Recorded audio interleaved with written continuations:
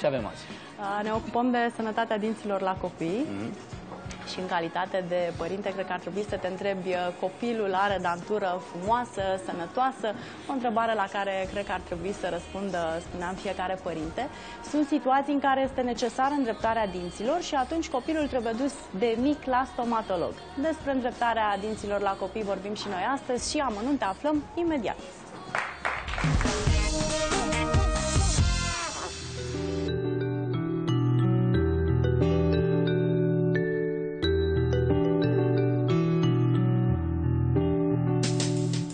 Pe partea stomatologică, în principiu, primul consult este pe la 3 anișori, după care pe partea ortodontică în jur de 6-7 ani. Tratamentul de îndreptare al dinților în perioada copilăriei, în principiu, este pentru a crea spațiu pentru dinții permanenți, pentru a corecta uh, partea de mușcătură, de ocluzie, cum se numește, și pentru a face Uh, loc celorlalți dinți permanenți, în așa fel încât să erupă cât mai aproape de locul lor corect. Deci la această vârstă este bine să facă primul consult ortodontic. E posibil să nu fie nevoie de tratament.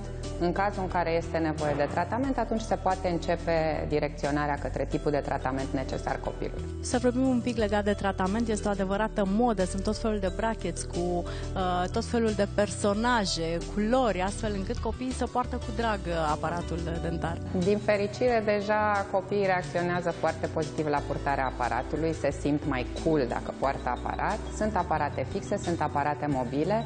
Eu personal prefer aparatele fixe pentru că nu depind de cooperarea pacientului și atunci rezultatele, evident, sunt mai rapide și mai bune. Până la ce vârstă poți uh, urma acest tratament de îndreptare a dinților? Dacă nu l-ai făcut în copilărie? În mod normal poți să-l faci la orice vârstă. Acum, problemele de creștere osoasă, în momentul în care ești adult, nu mai poți să le corectezi doar cu aparatele ortodontice și atunci intervine tratamentul multidisciplinar care poate să implice chirurgie, parodontologie, implantologie, endodonție, sunt uh, practic toată gama specialităților stomatologice.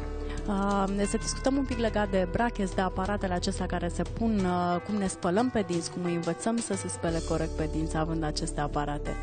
În principiu, spălatul pe dinți este aproape la fel, cu mici ajutoare din partea noastră, ca să spunem așa. Se dau niște periuțe micuțe cu care se pot spăla sub sârmulițe, sub bracheți. Ca tipuri de bracheți sunt aparate uh, de metal, ceramice, pe interior linguale, dar în general cele pe interior uh, sunt solicitate mai mult de către adulți decât de copii, pentru că și costurile sunt pe măsură, ca să spun așa. Diferența între ele este estetică și de costuri.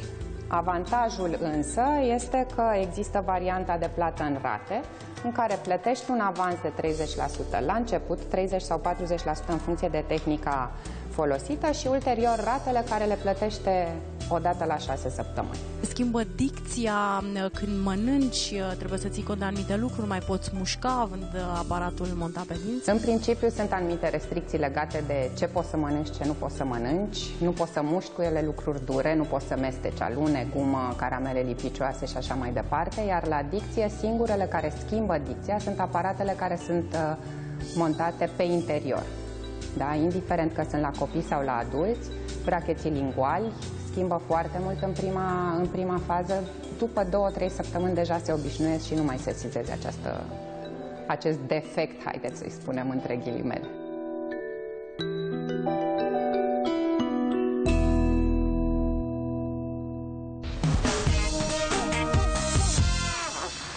La o vârstă fragedă, aparatele dentare sunt mai ușor de suportat și durata tratamentului este mai scurtă. Mai târziu, odată ce anii trec, maxilarele sunt uh, mai puternice, mai tari și de aceea este mai dificil să modelezi maxilarul și să muți dinții.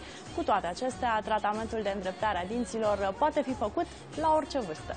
Atât pentru astăzi, uh, sunt Simona Dragomir, ne revedem luni în jurul orei 10 aici la Nața ca să spunem bună dimineața, sănătate, zi minunată să aveți, Răzvan! Mulțumim, Zâna Măsăluță, Simona Dragomir. Știți cum e? Atunci când vorbim de copilași. Mulțumim!